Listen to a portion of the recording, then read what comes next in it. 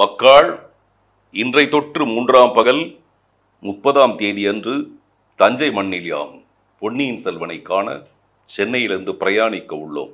அது கார்லா ட்ரெயினிலா என்பது மட்டும் இன்னும் முடிவாகவில்லை. பத்தாம் நூற்றாண்டின் பெருமை நம் ராஜராஜ சோழனை சரியாக பதினோரு மணிக்கு தரிசிக்க உள்ளோம் என்பதை பணிவுடன் தெரிவித்துக் கொள்ளும் சின்ன பழவேட்டரையர்.